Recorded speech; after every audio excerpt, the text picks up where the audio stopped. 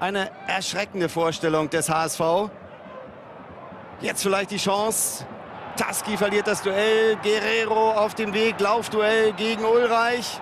Und was macht er denn jetzt? Sippel sofort mit der roten Karte.